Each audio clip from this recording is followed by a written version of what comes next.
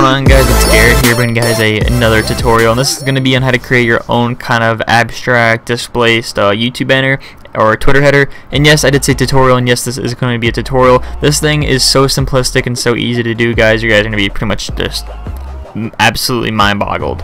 So if you guys don't know where this came from, it's actually currently a style on my YouTube banner right now, and uh, this is a lot more glitchy than the one I'm doing right now, but this one kind of looks a little bit better. So I'm going to basically go into depth with how to do this, and you guys are going to need just access to your internet, which I'm sure you have now because you're watching this video, a uh, brush or a light flare, your logo, and uh, displacement maps. And if you guys don't know how to go, how to get displacement maps, if you hop over to my YouTube and type in displacement there's going to be a video that pops up called Displacement Mapping Glitch Effect. So click on that video, there will be a link in the description below. It's over a year old, so I'm going to be redoing that basically, hopefully in a couple of days, so I'll be definitely linking the new version down in the description below, but uh, definitely just go and watch that for the time being, and uh, I definitely explain how to do it. So uh, if you guys know what displacement maps are, good for you. You guys are going to pretty much be in the clear for this. And then other than that, just keep on watching. Um, last thing I'm going to say before I go on this is just sit back and watch. Honestly, you guys are just going to pretty much chill and watch. There's like four layers you have to make. It's really, really easy, but it's just really cool overall. So uh, what I'm going to do is I'm going to start with a new header template. The size is 1500 by 500. The DPI is on 300. And I'm starting with a uh, black background. So if you guys have internet access, hop over to Google and you're going to type in kaleidoscope uh, wallpaper. So basically what a kaleidoscope wallpaper is, it's going to be kind of like a trippy wallpaper like this. So you guys can go through these and you guys can pick out any which one you want. You know, it works for any single wallpaper. If that's not what's going to suit you, you guys can also type in fractal wallpaper HD. And then these things are called fractals. It's a kind of like a light source for how things break apart. And uh, you guys can definitely use this kind of stuff. You guys can look up abstract, uh, glitchy, trippy, stuff like that anything will really work. What I'm doing is I have a pack open by Obeymax. You know, he has a bunch of cool stocks in it. A really cool trippy one like this. I'm going to be using this one just for the time being since I already know how to use it. So basically go pick your wallpaper out, drag it into your banner. I'm going to take this one and just kind of place it in. And then you want to center it a little bit so where the logo is going to go is kind of centered just like in the middle a little bit and then you want to grab your logo obviously I'm using my bear logo and you want to bring this in. So bring that. And then when you guys are sizing this you guys can actually just hold shift and then alt and it will size from the middle anchor. You know I don't really do that too much off too often but it does work.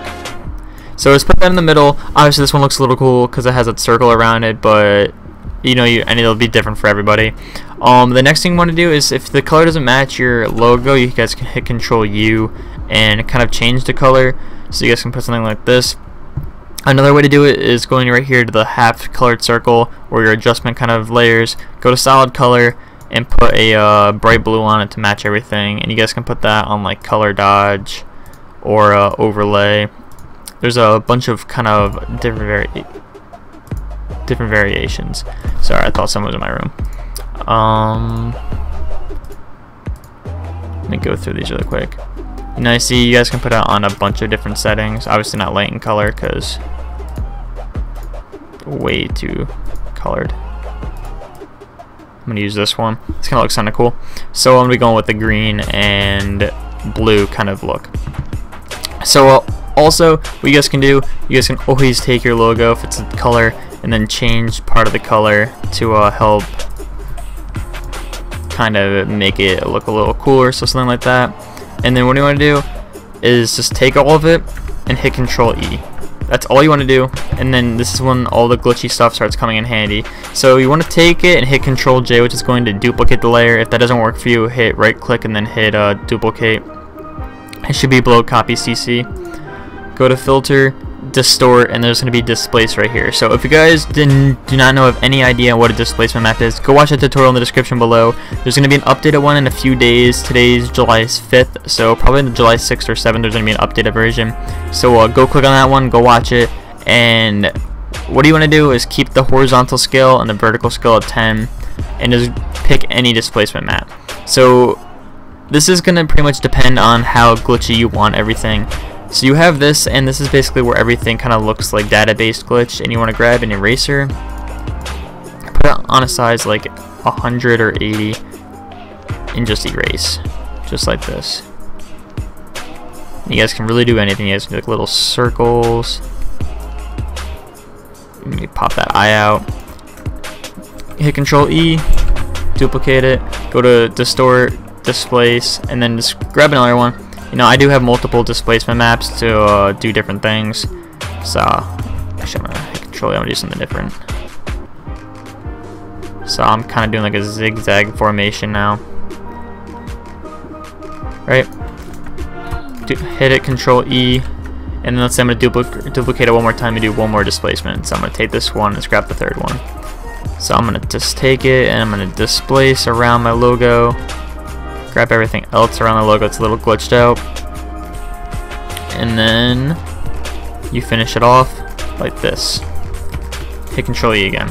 So basically now what you want to do is you want to start putting kind of lights and stuff. So I have a lighting pack. It will be in the description. You guys can just download that and you pretty much just put the light on top and this is just going to kind of create a nice little flare. There's a bunch of other stuff you guys can do. I have a uh, stock pack you guys can grab like a light flare like this out of. And I can drag it in. You can put this into the bottom and it'll create a nice glow. Another cool effect is you make a new layer and you're going to go to your uh, paint bucket, you're going to go to gradient tool, and I have mine on a transparent to black thing. I'm going to click right here and I'm going to hold shift and I'm going to do a diagonal, oh actually won't let me. I'm just going to just click then and then drag to the top right hand corner and it's going to create a dark thing right there grab from the middle and do it to the other top left hand corner and this is going to create a more triangle gradient. And you're going to grab an eraser like a size 400 and you're just going to erase and circular formations outward. So it creates this. So this is basically it. You guys can take it from here. Let's just say you want to do something a little different. You guys can hit control J control U and you want to grab the color and bring it, let's just say a little darker. Next thing you want to do, go to filter, distort, displace, and then put a displace map on this. And then when you grab your back to your eraser, put it back to like a size 100. Hardness to 100. And then you guys can just like do like little formations and kind of cut things out like that um, that's basically all you really can do. There's a lot of different kind of variations you guys can do. You guys can just uh, make RGB splits, so if you just duplicate it three times, you can always take the first one, go to curves, go to red, put the output to 0, the input to 251, and then grab this one, go to adjustments curves, and put it to green. And the same thing with the output and input 0, and 251. I'm pretty sure if I put this one on screen, oops, get the last one. Put this to curves, put this to blue, and 0 and 251. And if you put them all together, they should bring back your first color. Grab it and hit, oops,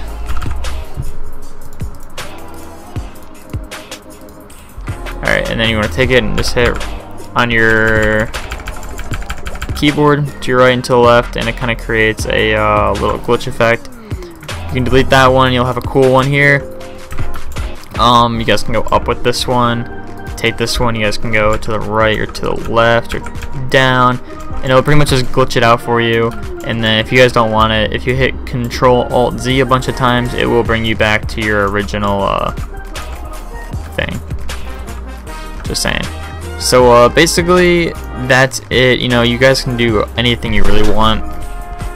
Really fun to do. This style can be brought to really anything. And uh, let's just say you want to keep this one. What you can do is hit Control J, go to Filter, Blur, Lens Blur, and just put on like six, and then just blur it, and just take out some blurs, just like that duplicate it. If you want to, you guys can go to exposure. You guys can mess with the gamma correction. You guys can mess with a bunch of other stuff like offsets. But uh, that's basically all you guys. So uh, this is going to be it for the tutorial. As always, if you guys did enjoy, leave a thumbs up. I'm not too sure how long this is going for. I uh, didn't check the OBS when I started it, and I didn't check the OBS when I ended it. But uh, if you guys did enjoy, please leave a thumbs up. If you guys like these tutorials, definitely let me know in the comments below. As always, if you guys want to add me on Snapchat, there will be a link in the description below. Um, I'm going to start streaming every day from 8 p.m., hopefully to whenever I want. Um, I streamed yesterday. I had about like 20 viewers, and it was really dope. You know, I'll be able to watch people like watch me play and stuff. So uh, definitely go follow my Twitch and then down below in the description. Definitely follow if you're gonna be active and watch. As I said before, it's gonna be like 8 p.m. Eastern time. I'm gonna start streaming. And then if you guys want to submit your video ideas in the description below, there's gonna be a Google form. You guys can do anything you want there, like vlog ideas, day in the lives um, tutorial ideas, top 5 ideas, stuff like that. But uh, other than that, that's basically going to cut it off for today's video. If you did like this tutorial, leave a thumbs up and let me know in the comments below if you guys want anything else. You know, really simplistic, really cool glitchy effect, and that's basically all I can say for today. So as always, hope you guys have a nice day, and I hope to see you guys later on. Peace out.